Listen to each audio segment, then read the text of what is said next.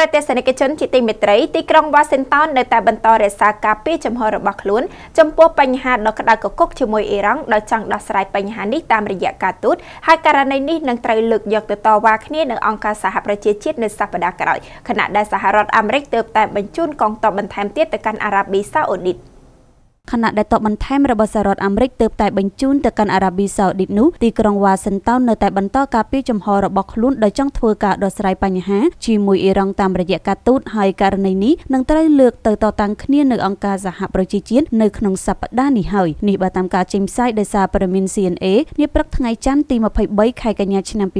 2019នៅក្រោយការវាយប្រហារលើក្រុមហ៊ុនប្រេងអារ៉ាំកូរបស់អារ៉ាប៊ីសាអូឌីតនឹងការចាប់ប្រកាន់ចំចំលើអ៊ីរ៉ង់ថាជាអ្នកស្ថិតនៅពីក្រក្រោយការវាយប្រហារនេះបានធ្វើឲ្យស្ថានភាពក្នុងតំបន់មជ្ឈមបូព៌ាប្រែទៅជាក្តៅគគុកខ្លាំងបំផុតជាងការពីយន្តហោះដ្រូនរបស់អាមេរិកត្រូវអ៊ីរ៉ង់បាញ់ទម្លាក់នៅច្រកសមុទ្រ Hormuz នោះទៅទៀតប្រការនេះបាននាំឲ្យប្រទេសនានាភ័យខ្លាចសហរដ្ឋអាមេរិកប្រើលេសនេះដើម្បីវាយប្រហារដោយយោធាលើអ៊ីរ៉ង់ប៉ុន្តែលោកដូណាល់ត្រាំបានបញ្ជាក់កាលពីសប្តាហ៍មុននេះថាការប្រើទ័ពលើអ៊ីរ៉ង់ជារឿងងាយប៉ុន្តែលោកនឹងមិនបង្កសង្គ្រាមដែលធ្វើឲ្យសហរដ្ឋអាមេរិកនិងសម្ព័ន្ធខាតបង់ប្រយោជន៍នោះឡើយដោយឡែកតាមរយៈកិច្ចសម្ភាសមួយជាមួយសារព័ត៌មាន ABC លោករដ្ឋមន្ត្រីការបរទេសអាមេរិកម៉ៃប៉ុមពីអូតំណាងឲ្យលោកដូណាល់ត្រាំបានបន្ថយកម្ដៅជំវិញលទ្ធភាពដែលអាមេរិកអាចប្រើទ័ពវាយប្រហារលើអ៊ីរ៉ង់លោកប៉ុមពីអូបានលើកឡើងយ៉ាងដូចនេះថាលោកប្រធានាធិបតីត្រាំនិងខ្ញុំសុទ្ធតែចង់ផ្ដល់ឱកាសគ្រប់យ៉ាងដើម្បីឲ្យការដោះស្រាយបញ្ហាតាមផ្លូវការទូតសម្រេចបានលទ្ធផលរដ្ឋបាលរបស់យើងកំពុងតែគិតគូរខ្លាំងណាស់លើមធ្យោបាយនេះ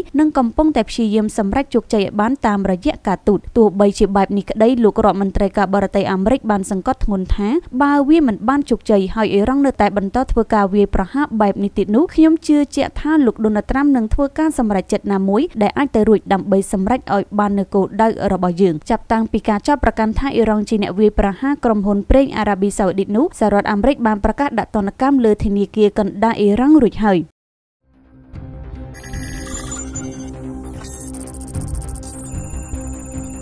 លោកអ្នកកំពុងស្វែងរកលំនៅឋានដែលមានតម្លៃទាបសមរម្យសំណង់រឹងមាំក្នុងក្រុងមែនទេដូច្នេះលោកអ្នកមានជំរឿក្នុងការទិញដើម្បីរស់នៅផងនិងអាចទទួលបានចំណេញផងនោះគឺបូរីលេងនវត្រាអាចបំពេញបំណងលោកអ្នកបានដោយទីតាំងស្ថិតនៅជិតផ្លូវវែងស្រេងចេញពីស្តុកណតព្រីទូរទស្សន៍អាស៊ីអាគ្នេយ៍ត្រឹមតែ4គីឡូម៉ែត្រប៉ុណ្ណោះហើយជាតំបន់មាសមានការអភិវឌ្ឍស្រាប់លក្ខណៈអន្តរជាតិ